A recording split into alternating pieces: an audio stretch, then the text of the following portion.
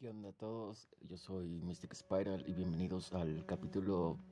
Ay, no sé qué pinche capítulo es del proto podcast, creo que es el segundo, o sea, sería el tercero si contamos como que la beta, esa mamada, esa que hice para como notificar el pedo, pero... Ay, no sé, si para ti es el 3, qué bonito, y si para ti es el 2, también, ¿verdad?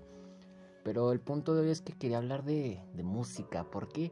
Porque este pinche canal es de música, ¿no? Entonces, pues, no sé, estaba pensando en, hablar sobre mis pinches vivencias pendejas con la música.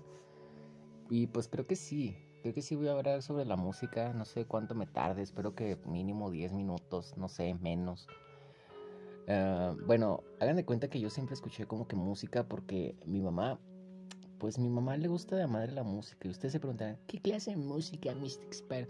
La clase de música que a tu mamá no le gusta. O sea, a mi mamá le gusta el, el metal. Su banda favorita es Metallica, güey.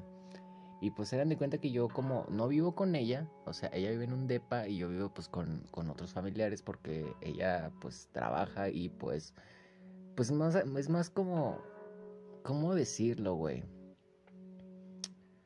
Pues sí, güey, como ay, no sé, no, no, tengo la palabra, pero es como más práctico para ella vivir en otro lado por su trabajo y todo ese desmadre. Sí, práctico, creo que es práctico, o sea, más rápido se va al trabajo y pues, ya así, ¿no? Bueno, güey, el punto es que yo cuando estaba morrito, güey, pues me iba con ella a, a, a, pues a veces quedarme con ella. Y hagan de cuenta que todas las pinches mañanas, todas las pinches mañanas me despertaba escuchando Metallica o, o pinche Testament o Megadeth o así bandas de, metal. Dark Funeral, así mamadas, mamadas, ya saben. Y pues desde ahí me empezó a gustar como que las pinches, o sea, no siempre, no siempre era, era música metal, o sea, antes pues ponía como The Credence o The Hoolies o The Animals o Pink Floyd.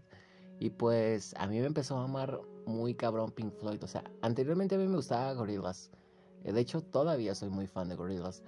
Y porque el primer video que vi en la historia, o sea, esto va ligado al tema. ¿Se ven cómo yo ligo todo el pinche tema?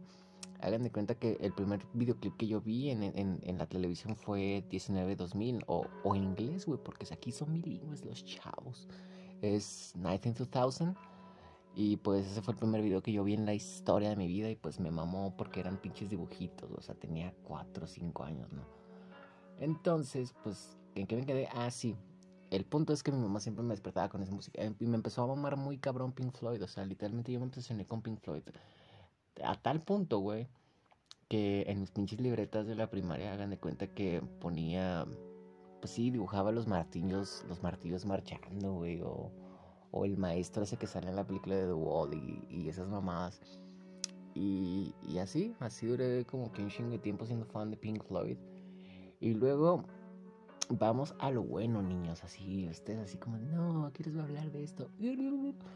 Pues hagan de cuenta que un día pues yo estaba leyendo en internet, porque pues hagan de cuenta que yo desde morrito tengo acceso a internet, ¿verdad? De ahí, de ahí eso explica porque estoy bien pendejo, ¿no? Pero el punto, güey, es que pues yo... Yo vi en, no me acuerdo si eran un pinche noticias de, de, mi, de mi ciudad, de mi estado, que decía como de Kurt Cobain cumple no sé cuántos pinches años de muerto. Y pues yo ahí le dije a mi mamá así como de, ah, pues cumpleaños el, el Kurt Cobain, jefa. Y, y va a haber un, un concierto tributo en un teatro y pues me dijo, ah, qué chido. Y, entonces me miró así como de, pues quieres ir o qué. Y yo le dije, pues, pues sí, no, estaría cool. O sea, no tenía ni puta idea de quién era Nirvana en ese tiempo. Y hagan de cuenta que pues fuimos al concierto y pues em, la primera canción de Nirvana que creo que escuché creo que fue Polly y después Something the Way y Lithium. Y hagan de cuenta que era como un tipo un blog, o sea, eh, los vatos estaban hablando mientras te contaban la historia de las rolas y tales mamadas, ¿no? Interactuando con el público y eso. Y, y, volví ese día, o sea, a un concierto de Nirvana sin conocer las pinches canciones y dije, ah, pues rock, ¿no? Entonces regresé, güey, a mi casita y me metí a Lares, güey. O sea, para los que no sepan qué pedo, el Lares era un pinche programa donde tú bajabas música, güey y te arriesgabas a que bajaras 300 virus, pero tenías una rola de metálica, güey, en, MP3. Ya, ese es el contexto. O sea, no solo bajabas música, sino bajabas un chingo de archivos como videos, juegos, así, mamadas. Y pues bajé un chingo de rolas de Nirvana y desde ahí me volví fan, güey. Fan muy cabrón. Y pues sí, hasta el momento soy fan de Nirvana, o sea, ya llevo un chingo de tiempo en el, en el fandom. Y, sí, o sea, para que vean que yo ya llevo escuchando un chinga madre de años Nirvana y por eso yo estoy un poco harto. O sea, sé que, sé que tal vez hay alguien allá afuera que dice, no, güey, yo podría escuchar Nirvana siempre, todos los días. Todo, es como, no, güey, qué hueva, yo llevo, yo hice eso durante años, güey, créeme que, qué aburrido, o sea, las escuché un chingo de veces y las disfrutaba, claro que sí, güey. Pero la verdad es que llega un momento en el que te cansas de escuchar lo mismo, güey. Y por eso empecé a descubrir como que más bandas de grunge y todo ese tipo de cosas. Y pues sí, así fue en mi descubrimiento en Nirvana. Y pues sí. Y, y, pues en base a que me gustaron un chingo como que las, las rolas en general, pues yo me obsesionaba con saber qué chingados decían en español, porque pues mi español, bueno, mi inglés, mejor dicho, más se basaba en las pinches mamadas que veían los videojuegos y tal vez en una que otra cosa que me enseñaban en la, en la primaria o en la... Pues sí, en la primaria, güey, porque estaba en primaria. Y era como que pues investigar qué chingados era, no sé, I need an easy friend o algo así, o no sé. Y pues me metí en internet y buscar las traducciones, pero me daba cuenta que todos los videos, güey, todos, todos, güey, todos los putos videos estaban como que mal traducidos, güey. Algunas veces me decían eso porque buscaba letras en, en YouTube, las veía y luego las buscaba en una página que se llamaba letras.com, güey, o música.com, una mamada así, no me acuerdo al chile. Y, y estaban todas mal, güey, siempre estaban así como que mal, mal escritas o así, güey. Yo era bien fijado desde morrillo en eso de la ortografía porque mi mamá me ponía a pinche escribir planas y pues pinche estrés postraumático, yo diría. Y pues hagan de cuenta que pues decidí hacer un canal en YouTube ya cuando tenía estaba en sexto de primaria, sexto sí, y iba a pasar a punta secundaria y yo me creé un canal. De hecho, este canal antes se llamaba Slash Hacker, así como Slash Hacker, pero no crean que era por Slash, güey, sino que era por un cómic que se llamaba Hacker Slash y estaba muy chido. Y pues el punto es que empecé subiendo parodias locuendo. Parodias como, pues sí, de locuendo. Así como de imágenes graciosas, compilación. Ja, ja, ja, ja, ja, culeros. Qué buena imagen. Así, mamadas, ya saben. El punto, güey, es que un día vi que estaba en internet un post en Taringa. O sea, güey, cuando en Taringa se podían descargar álbumes completos. No sé si alguno de ustedes les tocó y si les tocó, pues por favor díganme, cabrón. Ah, vi en un post de Taringa que, que estaban los demos de, de, de, The Wall de Pink Floyd. Y dije, no mames, debo bajarme esto, güey. Y me los bajé. Y vi que había un chingo de versiones como demos de las canciones. Y, dije, no mames, esto, son, es magia, güey. Pero luego busqué en YouTube así como de, tengo que buscar qué dicen estas versiones alternativas de, de tal pinche canción. Me acuerdo que la primera que busqué fue la de Comfortably Numb. Y no había, güey, nomás estaba la versión oficial. Y dije, verga, güey, necesito traducir esto. Y eh, me metí en un chingo de páginas hasta que di con las, con las letras. Y, y, ahí sí, les voy a fallar. Mis orígenes fueron humildes, como todo buen canal. La verdad es que traducí la, la letra con el Google Traductor. Y quedó horrible, pero hice un video así traduciendo la rola en, Windows Movie Maker. En Windows Movie Maker, o sea, está culerísimo. O sea, yo aprendí a editar en, en Windows Movie Maker. Creo que todos, ¿no?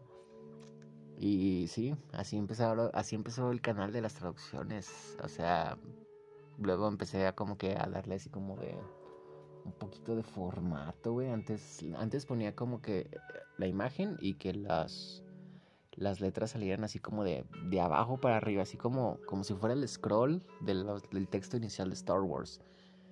Y, así, fui evolucionando poco a poco. Hasta hace poco fue cuando le, le, empecé a meter como que la letra en inglés y en español. Y eso fue porque un usuario me lo recomendó, así como tus traducciones son buenas, pero creo que deberías poner la letra en inglés. Y dije, oh, fuck, es cierto. Y sí, y creo que ahí fue como que el nuevo apogeo del canal porque literal yo no tenía suscriptores, o sea, subía traducciones pero estaban, tenían a lo mucho 15, 50 visitas o algo así. Y cuando empecé a subir Nirvana, o sea, dije, empezaron a subir muchísimos, muchísimo. Pero, o sea, yo digo que esto fue debido a que empecé a traducir álbumes completos. Porque vi que nadie se tomaba la molestia, por así decirlo, de traducir todo el álbum y ponerlo todo junto en una playlist. Y decidí, bueno, voy a traducir Bleach. Y empecé a traducir todo el Bleach, todo. Pero pues eso ya es un poco más reciente, volvamos a años atrás. Y pues así empezó mi canal con, con bastantes traducciones precarias, fui evolucionando hasta el punto que ya les dije. Ya, ya les di bastante contexto. El punto es que, que las traducciones, pues conforme fueron pasando los años, pues fui mejorando mi inglés. Y en un punto pues ya no tuve que necesitar el Google Traductor o algo así por el estilo. Y empecé a, a traducirlo yo. Para los que se preguntan cómo es el proceso creativo de, de cómo hago las, las, traducciones es sencillo. Vayan, vean. Yo busco la letra en, en, internet, una letra que vea que es confiable, porque a veces también están muy mal escritas las expresiones en inglés. Entonces lo que hago es leerla y escuchar la canción muchísimo. Y le trato de dar como que cierto sentido primero en inglés y luego ya empiezo a traducir en español pero no lo hago de forma literal, o sea, trato de darle como que un contexto para que diga lo mismo o adaptado en español y que no suene tan, tan literal, porque pues, pues suena tonto a veces traducir el, el inglés al español así literal, suena estúpido y no tiene coherencia ni sentido gramatical ni nada. Y, y sí, así lo hago. Ya lo que hago después es abrir el, el Camtasia, porque yo edito en Camtasia. Para lo que yo hago, digo, o sea, es editar en todos los pinches programas, pero para lo que yo hago en, en Camtasia es más que suficiente, creo yo. Y, lo que hago posteriormente es busco una imagen en tamaño grande HD y la pongo de fondo. Y busco la letra, la fuente, la fuente Oswald y siempre pongo subtítulos amarillos en inglés. A veces cambian, pero siempre pongo el, idioma original en, amarillo o a veces en otro color, ya les dije, para que resalte. Resalta mucho el amarillo. Eso lo aprendí en muchísimas cosas, literal. Las películas que a veces dan en la tele o en, un DVD que compras o, o en lo que sea siempre ponen los subtítulos en amarillo. Y yo siempre me preguntaba, ¿por qué chingados ponen los subtítulos en amarillo si se ven horribles? Y la verdad es que tienen una función. El amarillo resalta siempre sobre el fondo. Siempre, siempre. Y por eso los puse amarillos, porque resalta demasiado y se ven bien. Hasta eso es, hay un tono, escogí un tono de amarillo que se ve bastante bien. Entonces, lo que hago después es poner la, la, letra en español abajo, siempre cuidando la ortografía, claro que sí, porque a mí me da mucho, mucho repelus, como dicen, ya no dicen los chavos, de que no pongan los, las comas ni los puntos o que pongan todo en mayúsculas y así, ¿sabes? O sea, no te cuesta nada escribir bien, o sea, mayúsculas cuando son necesarias, minúsculas cuando son necesarias y así y así. No sé, son reglas gramaticales que, que yo me gusta seguir y también los acentos o las tildes o no sé cómo le digan ustedes. Pero sí, yo soy bastante bastante, bastante fijado en ese sentido. O sea, hay canales de traducciones que me encantan, pero siempre digo, oh, te falla la ortografía y, eso. Y, y, sí, así son mis traducciones. O sea, sé que esto pasó de, de forma espontánea lo que, que.